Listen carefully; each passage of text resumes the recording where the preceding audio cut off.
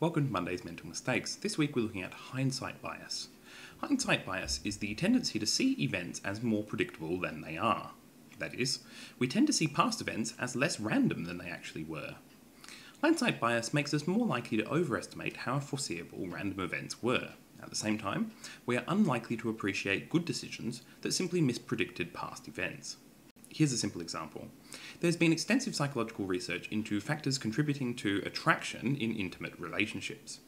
Many experiments have been conducted, and while there is always individual variation, it seems clear that when seeking partners, most people are attracted to people who are quite dissimilar to themselves. This is often called the opposites attract hypothesis. How surprising do you find this piece of psychological research? If you didn't find it surprising at all, then congratulations. You suffer from hindsight bias, like the rest of us. The problem here is that roughly 80% of people report this result as unsurprising. However, if we tell people that research actually shows that people are actually attracted to people who are similar, the birds of a feather hypothesis, the same percentage, about 80%, report it as unsurprising. No matter what the actual research result is alleged to be, most people don't find the outcome surprising, this sense of having known it all along is the hindsight bias. The principal way to counter hindsight bias is to consider alternatives. So, in the example before, when asked how surprising it is that people would be attracted to dissimilar partners, we need to also consider how surprising it would have been had it found that people are attracted to similar partners, or that no such pattern of attraction was found. Only by considering all the possibilities can we reduce our hindsight bias. One area where hindsight bias plays a major role is in attributing blame for people's actions.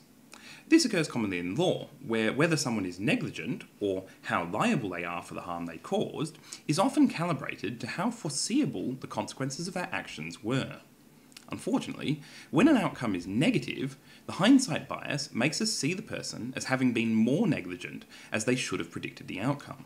For example, in research into medical malpractice, people who are told only the actions that the doctor took are far more likely to see them as having been reasonable, compared to people who are also told that there was a bad outcome for the patient. If we know that things went wrong, we can't help but see this as more foreseeable.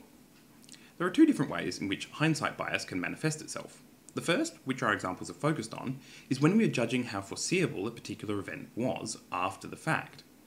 In these cases, we already know what happened, and this colours our estimates of how predictable it was. The other way that hindsight bias can manifest is when we have already made a prediction and then we misremember our prediction after we then find out the real outcome. For example, when taking exams or participating in a quiz night, it's common when finding out the right answer to have the sense of having known it all along, even though we answered it incorrectly. Similarly, research that recorded people's predictions, both before and after an event, find that a much higher percentage of people will claim to have accurately predicted the outcome after the event than before. That is, if 30% correctly predicted the outcome of a sporting event before a match, when resurveyed after the match, say 60% might claim to have accurately predicted the result.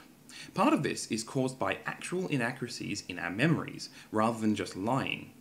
So part of the hindsight bias is misremembering ourselves as more accurate in our predictions than we really are. In conclusion, hindsight bias is the tendency to see past events as more predictable than they actually were. Until next week, may your mental mistakes be minor.